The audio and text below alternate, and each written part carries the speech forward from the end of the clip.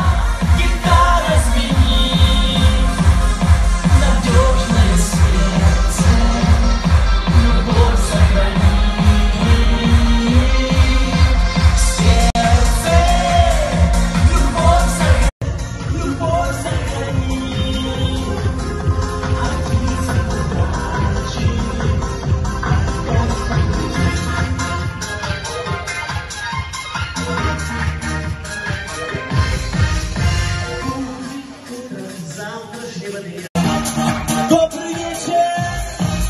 Расправили крылышки и полетели!